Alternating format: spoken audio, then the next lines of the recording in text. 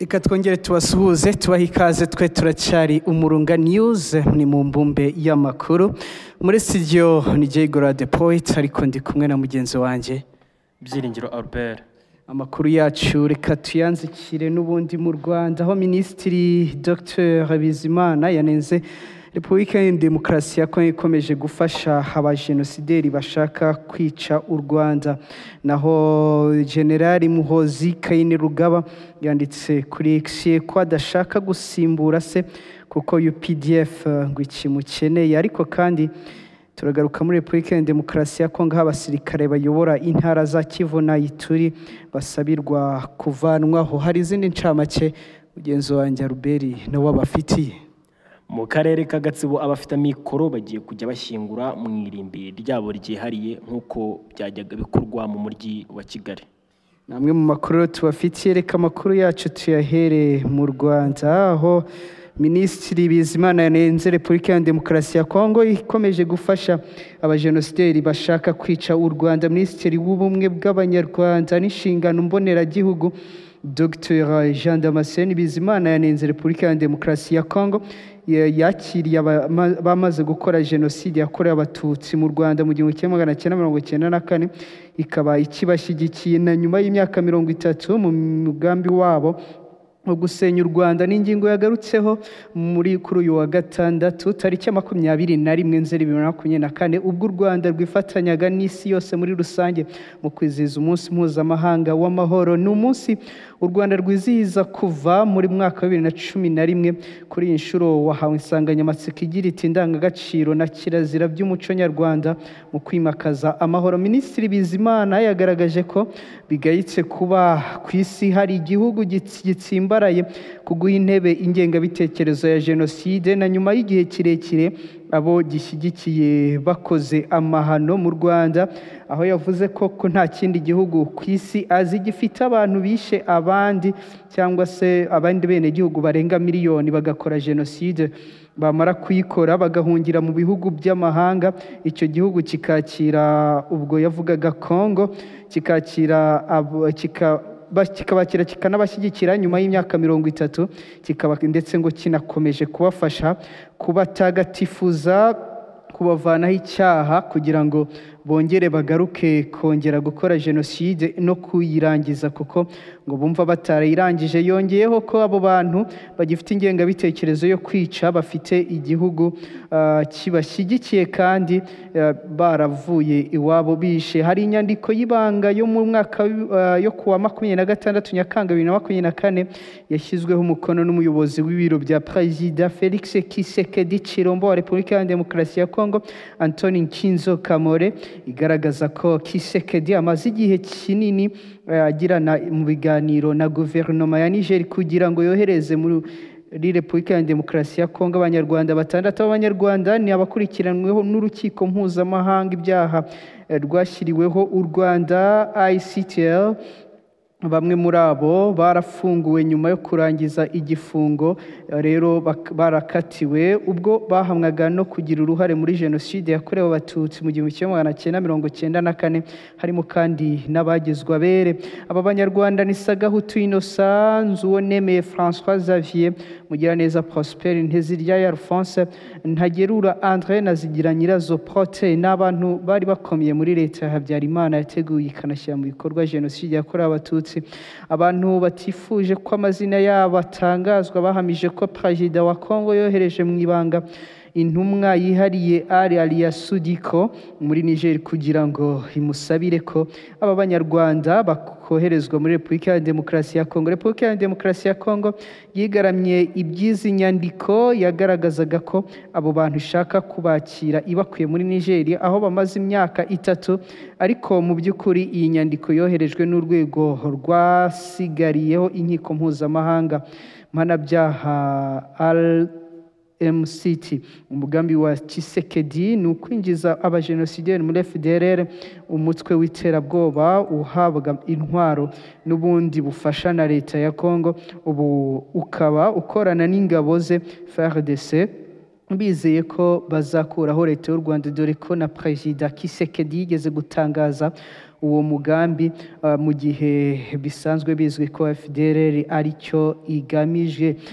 Twe turacyari yuho ah, turacyari umurunga news. Mu makuru yacu mu mbumbe y'amakuru reka aya makuru tuyakomereze mu gihugu cya uganda. Generali muhozi kainerugaba yanditse craigse ko adashaka gusimbura se kuko updf uh, ikimukeneye. Umugaba mukuru w'ingabo za uganda generali muhozi kainerugaba yatangaje ko atakiyamamarije kuyobora uganda mu matora y'umukuru w'igihugu ateganyijwe muri bibiri na makumyabiri na gatandatu Ah, rero aharira se kaguta museveni. Mu generali muhozi kainerugaba mu butumwa yanditse ku rukuta rwe rwa x yavuze ko yahisemo gukomeza kwibanda ku gisirikare bigaragara ko kikimukeneye ngo agifashe. Aho yavuze ko agira ngo atangarize abantu ko muri bibiri na makumyabiri na gatandatu aza- atazaba ari ku rupapuro rw'itora ngo imana izamushoboze byose. Yasabye gukomeza kwibanda ku gisirikare cya uganda. Ku bw'ibyo rero ngo ashyigikiye ise perezida yoweri kaguta museveni mu matora ataha. Generali muhozi kainerugaba yakuyemo ake karenge nyuma y'amasaha make. Perezida museveni w'imyaka mirongo inani y'amavuko atangaje ko azongera kwiyamamariza. Kuyobora uganda mu matora ateganyijwe mu myaka ibiri iri imbere. Ni muhozi mu myaka ibiri ishize wari warakunze gutangaza ko aziyamamariza kugira ngo abashe gukemura ibibazo bitandukanye byugarije igihugu cya uganda. Kimwe mu byo bavugaga ko azihutira gukemura harimo ikibazo cya ruswa yamunze inzego zitandukanye muri uganda. Uyu mujenerali w'inyenyeri zigera kuri enye mu butumwa bwinshi yanditse ku rubuga rwa x rwahoze ari twitter yavuze ko abarya ruswa ndetse n'igisambo muze ah, azabi azabikiza bose rero abakaka bakazaba kababayeho mu gihe azaba agiye kuyobora igihugu cya uganda avuga ko batazemera ko uganda habaho itonesha ah, avuga ko muze cyangwa se uriya mm, perezida kaguta museveni ari nawe na sengwa azi neza impunduramatwara isaba kurindura imbuto mbi zo muri uganda. Uyu muhungu wa perezida yoweri kaguta museveni yavuze ko we n'amamiliyoni y'abafana be biteguye gushyigi- gushyigikira perezida kaguta museveni muri bibiri na makumyabiri na gatandatu.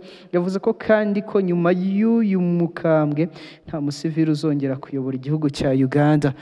Muri studio ndi kumwe na mugenzi wanjye Albert Byiringiro uyu generali Muhozi Kainerugaba un- ari nawe mugaba mukuru uh, w'ingabo za Uganda. Yatangaje ko atakiyamamarije kuyobora Uganda ahubwo azashyigikira. Si ibyo bintu urabyumvute?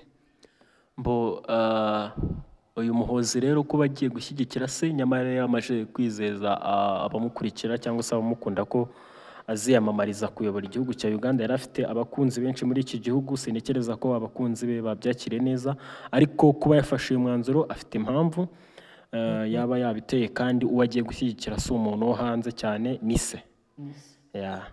Si ukuba haravuga ati kuva data yemeye kongera kwiyamamaza reka dushyigikire ibyagezeho cyangwa se n'ubundi nta rutugu rukura ngo rusumbe ijosi. Cyane ko perezida yoweri kaguta museveni ari nawe wamuhaye iri peti ryo kuba general ndetse no guhagararira igisirikare cya uganda nk'umukuru w'umugaba w'ingabo ashobora kuba yavuze ati simbe nka cya gisiga cy'urwara rurerure.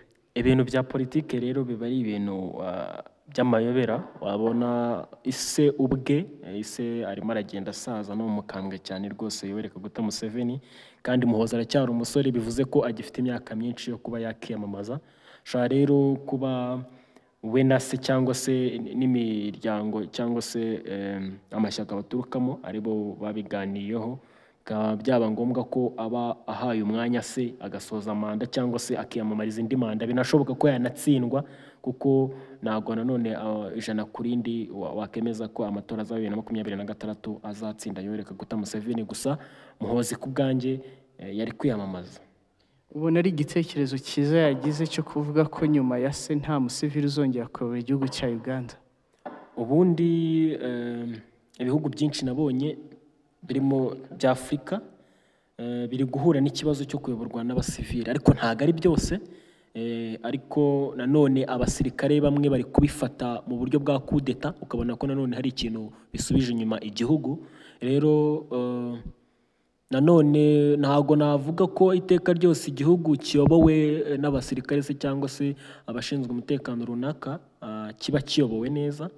Ariko akenshi iyo igihugu kiyobowe n'umwe mu bashinzwe umutekano cyangwa se abasirikare batari abasivili batari abaturage basanzwe ubona ko hari impinduka ziri mu gihugu. Eh, ubwo rero ntabwo namushyigikira ijana kuri ndi ariko na byo ni byo. Nabyo ni byo kabisa. Kuri bimwe mu bihugu byo muri afurika hari ibyo ureba ukabona ko bidakwiye kuyoborwa na- n'abasivili pe. Nawe uramutse ufite igitekerezo biroroshye ni ukuza ku murunga news. Warangiza ugakora subscribe hanyuma ugakanda no kukazogera kugira ngo inkuru zose tugezeho zijye zikuhita zikugeraho. Ariko kandi ukaduha n'igitekerezo muri comment. Tunashimira abakomeza kugenda babikora. Reka imbumbe y'amakuru yacu y'umurunga news n'ubundi tuyakomereze muri repubulika ya demokarasi ya kongo aho abasirikare bayobora intara za kivu na ituri. Barimo barasabirwa kuvanwaho. Abadepite bahagarariye intara zo mu burasirazuba. Mu nteko ishinga amategeko muri repubulika ya demokarasi ya kongo basabye ko abayobozi bwa gisirikare burangije imyaka igera kuri itatu buriho bugomba kuvaho. Izi ntumwa za rubanda zatanze icyo cyifuzo mu gihe cyo gusoza inama idasanzwe y'inteko nshinga amategeko yo ku rwego rw'igihugu yabereye i Kinshasa. Iyi nteko nshinga amategeko yari imaze kwanzura ko ubuyobozi bwa gisirikare bukomeza ku nshuro ya mirongo itatu na karindwi mu ntara zo mu burasirazuba. Ubu zugarijwe n'umutekano muke. Ubwo abadepite bagize inteko ishinga amategeko batoraga iryo tegeko gukomeza k'ubuyobozi bwa gisirikare. Abadepite mu ntara ya kivu ya ruguru kivu y'amajyepfo na ituri birinze kwerekana uruhande bahagazeho nyuma y'uko umubare munini wabo wemeza ko abasirikare bagomba gukurwa ku buyobozi bw'izo ntara. Aba badepite baranenga cyane gukomeza k'ubuyobozi bwa gisirikare babushinja ko bwananiwe akazi kabwo ko kuva bwatangira kuyobora izo ntara. Aba badepite kandi barashinja ubu buyobozi bwa Kinshasa gufata iki kibazo cyo mu burasirazuba bw'igihugu nk'aho kidahari mu gihe abaturage bo bakomeje gupfa umusubirizo abandi bagahunga ndetse kandi amakuru agera ku murunga news avuga ko mu gihe muri iyi minsi haje akameze nk'agahenge muri repubulika ya demokarasi ya kongo mu burasirazuba hari igitutumba cy'uko mu minsi mikeya hashobora kongera kwegura imirwano hagati y'inyeshyamba z'umutwe wa M23 ndetse n'ingabo za repubulika ya demokarasi ya kongo n'abazishyigikiye albert. Uh, uri kubona mu burasirazuba bwa repubulika ya demokarasi ya kongo umutekano ukomeje kuba ndanse wa mugani w'abarundi. Ubona kuba baretse ngo ubuyobozi bwa gisirikare bukomeze kuyobora. Hari icyo kisekedi yizeye cyangwa bushobora gukemura? Mbo eh, iyo hari iyo ubundi igisirikare cyifatiyemo usibye repubulika iharanira demokarasi ya kongo mba mbona ibintu byabo bitari ku murongo bitoroganije neza ariko iyo igisirikare cyifatiyemo ku bintu bitari biri kugenda neza bigenda neza gusa sinabihamya kwa kisekedi kuko mbona ari guverinoma ijagaraye ijabiriye ukuntu rero ntabwo nahamya ko icyo gisirikare ikintu kigiye guhindura umutekano ukaba wagaruka. Na ruberi byiringiro ku bitekerezo namwe nk'uko twababwiye ku murunga news ushaka kuduha ibitekerezo ushobora kujya muri comment ukadusangiza ibitekerezo kandi ukadusura no ku rubuga rwacu www umurunga.com tugakomeza kubana neza mu yandi makuru. Reka ruberi byiringiro akomeza tujye rero mu karere ka gatsibo mu ntara y'uburasirazuba abafite amikoro bagiye kujya bashyingurwa mu irimbi ryabo ryihariye. Umuyobozi w'akarere ka gatsibo gasana richard avuga ko kubera ubusabe bw'abaturage bo mu mujyi wa kabarore hamaze kugurwa ubutaka bwagenewe irimbi rusange buzakoreshwa na rwiyemezamirimo. Hakazajya hashyingurwamo abafite amikoro. Inama njyanama y'akarere ka gatsibo ateranye ku itariki makumyabiri n'icyenda z'ukwezi kwa munani bibiri na makumyabiri na kane yashyizeho amahoro ku marimbi rusange aho igiciro cyari hagati y'amafaranga ibihumbi mirongo inani n'ibihumbi mirongo itatu by'amafaranga y'u rwanda mu mirenge y'icyaro uretse umurenge wa kabarore n'umurenge wa ngarama aho igiciro cyari hagati y'amafaranga y'u rwanda ibihumbi magana atanu mirongo itanu ibihumbi magana abiri ndetse n'ibihumbi mirongo ine by'amafaranga y'u rwanda.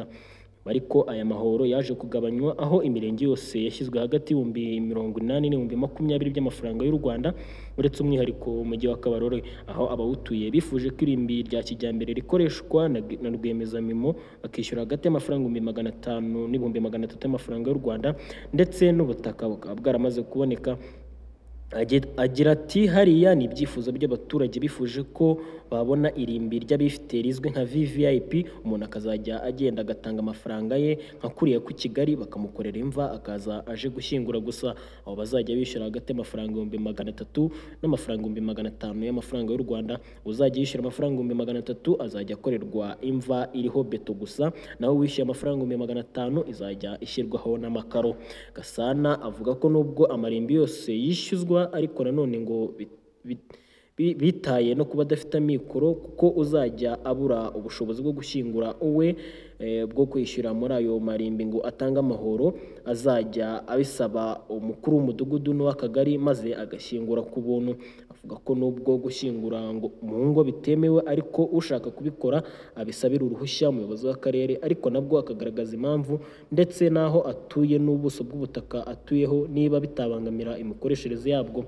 Ati barabisaba ariko hari ubwo ababo ariko baba barabyifuje hanyuma tukabisuzuma tukareba niba atari ku mudugudu kuko ntawabikorera umwe ngo undi ejo ubyange. Akomeza agira ati aho aho ubwo busabe bushobora kwemerwa ni naho umuntu aba atuye mu gihe umuntu yaba atuye wenyine ku buta- ku butaka bugera kuri hegitari icumi kuzamura atuye wenyine yashaka kuhava cyangwa ubutaka ngo buhindurwe akaba yabyemererwa. Avuga ko ubu barimo gushakisha amafaranga yo kugura ubutaka bwazashyirwamo amarimbi rusange mu mirenge ibiri itayafite kuko ubu bari kwifashisha amarimbi y'insengero. Yagize ati dusigaje imirenge ya Nyagihanga na Kageyo tutarabonera amarimbi rusange ariko nanone hari icyo hariyo amarimbi y'insengero. Twavuganye n'abakozi b'insengero ko bareka abaturage bakaba ariho baba bakoresha ariko uyu mwaka turateganya gushaka ubutaka tukabugurira kugira ngo abaturage babone aho bashyingura ababo Meya Gasana asaba abaturage kwirinda gushyingura aho babonye hose ahubwo bakitabira amarimbi rusange kugira ngo ubutaka bukoreshwe neza kandi banatange umusaruro. Dukomereje muri sudani y'epfo. Umuryango w'abibumbye uzwi nka united nation wambitse imidari y'ishimwe abapolisi ijana na mirongo itandatu b'abanyarwanda bari mu butumwa bw'amahoro muri sudani y'epfo. Umuryango w'abibumbye uzwi nka un wambitse imidari y'ishimwe ry'akazi abapolisi b'u rwanda ijana na mirongo itandatu bari mu butumwa bw'am- bw'amahoro mu gihugu cya sudani un miss. Abapolisi b'u rwanda ijana na mirongo itandatu bari mu butumwa bw'amahoro nibo bambitswe iyi midari y'ishimwe. Ni imidari ishimangira ubwitange n'umuhate wabaranze mu gihe kingana n'umwaka bamaze mu nshingano zo kurindira umutekano abaturage b'abasivili muri icyo gihugu. Abapolisi b'u rwanda bambitswe iyi midari kuri uyu wa gatanu tariki ya makumyabiri nzeri bibiri na makumyabiri na kane. Umuhango wo gushyikiriza iri tsinda ry'abapolisi b'u rwanda rikorera mu murwa wa juba wayobowe na christine fossen ukuriye ishami ry'abapolisi mu butumwa bwa loni muri icyo gihugu. Witabiriwe kandi na commissioner of police cp feri rutag Tagerura Bahizi ushinzwe ibikorwa bya polisi mu butumwa bw'umuryango w'abibumbye aho abandi bakozi b'umuryango w'abibumbye nabo bitabiriye uyu muhango. Madamu Foseni yabashimiye umuhate na disipurine byabaranze mu kazi ko kurengera abaturage b'abasivili no gufasha polisi ya Sudani y'Epfo kwiyubaka mu bushobozi. Yagize ati iyi midari mwanditswe ni ishimwe n'ubwitange bw'abaranze muri buri wese muri mwe. Ibikorwa byanyu muri rusange bitanga umusaruro mu kurengera abaturage b'abasivili no gushimangira amahoro n'umutekano muri iki gihugu. Bagaragaje ko na nyuma yo gusoza inshingano mu butumwa imidari bahawe izakomeza kubabera ikimenyetso kibatera imbaraga zo gukomeza gukora neza kurushaho n'ahandi bazaba bakorera cp rutagerura nawe yashimiye abapolisi bahawe imidari ibikorwa by'indashyikirwa byabaranze mu butumwa bw'amahoro muri sudani y'epfo. Itsinda rya rwafupu gatatu rigizwe n'umubare munini w'abapolisikazi riyobowe na senior superintendent of police scp angelique uwamariya. Scp uwamariya yashimiye un miss ku buryo eh, baba hafi bigatuma babasha kuzuza neza inshingano zabo. Yavuze ko bakomeje bakomeje gushyira imbaraga nyinshi mu gucunga umutekano w'abaturage b'abasivili babikomatanya n'ibikorwa byo guteza imbere imibereho myiza y'abaturage. Ndetse no kurwanya icyo ari cyo cyose gishobora gutambamira uburenganzira bw'ikiremwamuntu n'ishyirwa mu bikorwa ry'amasezerano y'amahoro. Ashimira abapolisi ayoboye uko babyitwayemo hatitawe ku mbogamizi bagiye bahura na zo.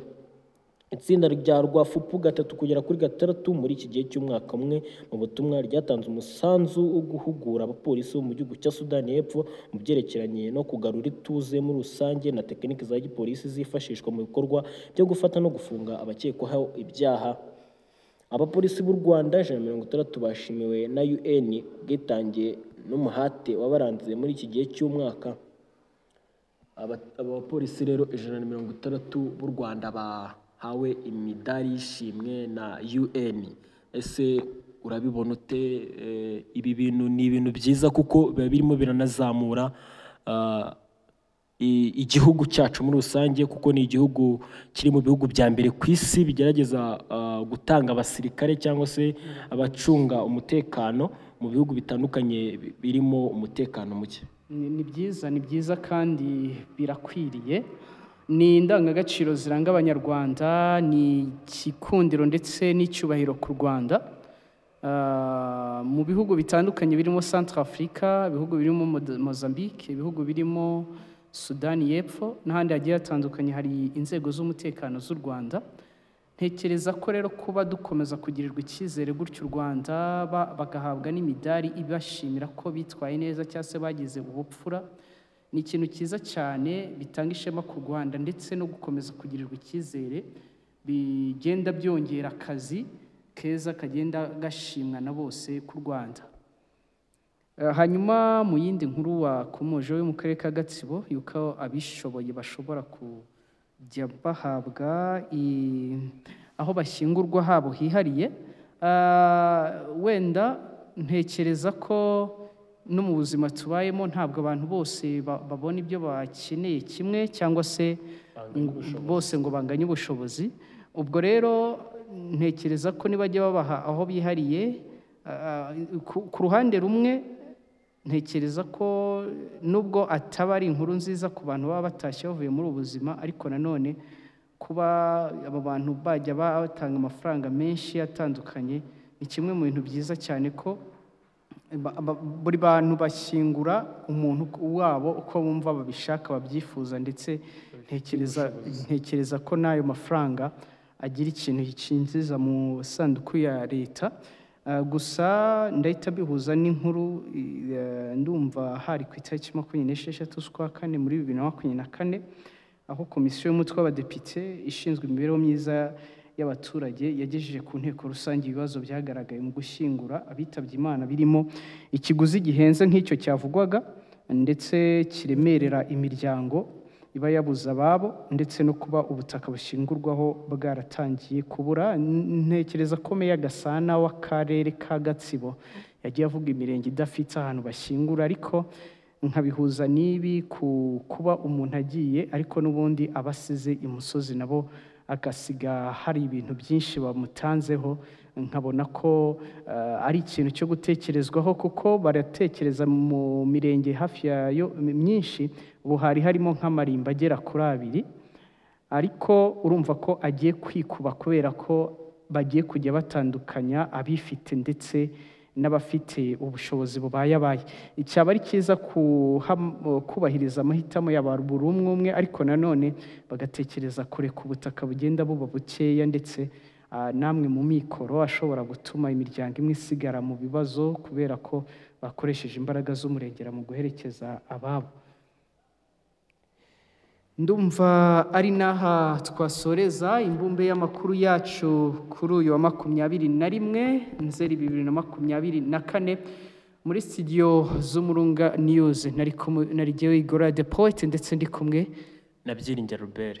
mu makuru twabagejejeho twabwiye mu karere ka gatsibo ku kijyanye no gushyingura aho abifite bashobora kuzajya bashyingurwa ukwabo ndetse tunababwira uburyo ki mu rwanda dogiteri bizimana jean damascene akaba ari minisitiri w'ubumwe bw'abanyarwanda n'inshingano mboneragihugu yanenze repubulika ya demokarasi ya kongo yakiriye abari bamaze gukora jenoside yakorewe abatutsi mu rwanda mu gihumbi kimwe magana cyenda mirongo cyenda na kane.